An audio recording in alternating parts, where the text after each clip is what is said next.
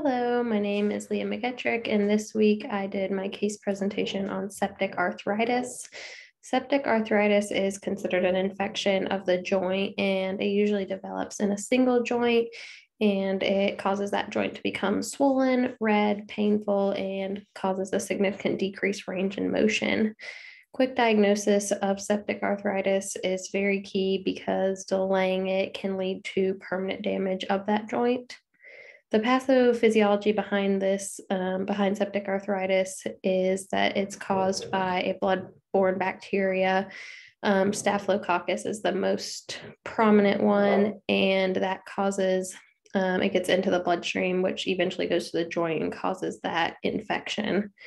There are a lot of risk factors to septic arthritis, the biggest one being age. Um, adults older than 80 years old are the most common people to get septic arthritis.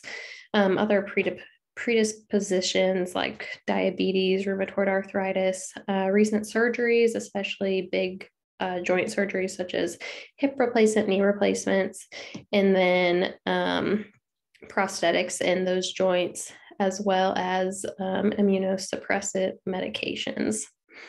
It can also be caused by um, like puncture wounds, dog bites, stepping on a nail, that sort of thing. The major signs and symptoms, it's a very clinical presentation. Um, like you see in this picture, it's the redness, swelling, pain in that joint. Um, there's a significant decreased range in motion in that joint. Um, as far as diagnostic testing, like I said, it is very clinical um, but you can do, there are laboratory tests you can do. The biggest one is the aspiration of the synovial fluid.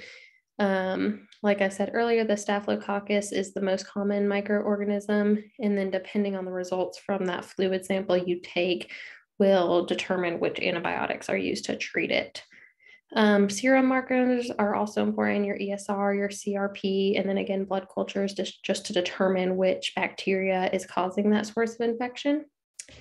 So these are my references, and that is it. Thank you.